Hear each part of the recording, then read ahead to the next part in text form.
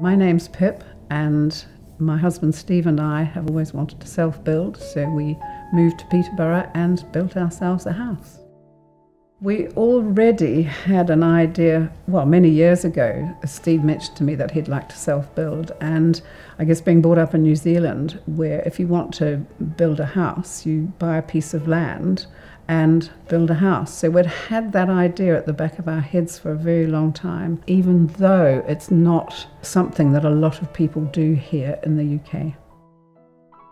The inspiration for the house came from probably many years of looking through house magazines and getting ideas and originally in New Zealand and then we just happened to be in New Zealand and picked up a house magazine which had a wonderful house which looked like from the outside a Welsh cottage sitting on a Welsh hillside and when you walked into the house and through the back, it opened out into this beautiful wide open space. So that was our original idea.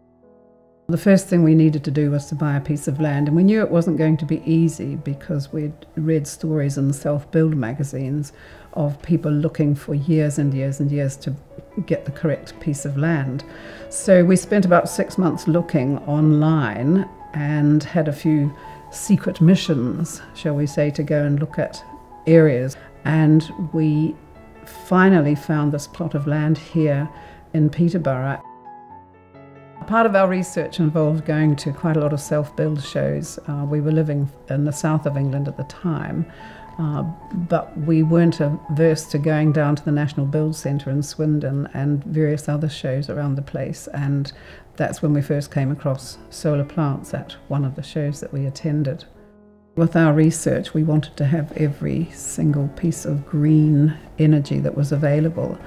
Uh, but when it came down to it, with the SAP regulations and Peterborough City Council requirements, we knew that by putting solar panels on the roof, along with the insulation provided from the package from Potton, that we would be uh, uh, well above the requirements from the local city council.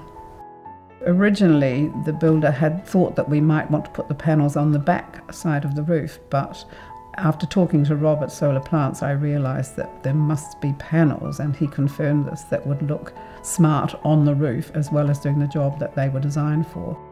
So we were able to put them onto the south facing side of the roof, which obviously was better from a solar point of view.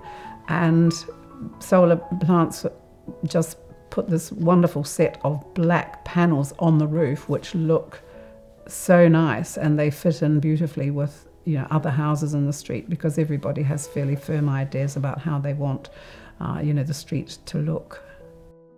We would certainly self-build again, and we would certainly get solar plants involved at, a, at the earliest stages of the build, so that you know they were on board right from the beginning.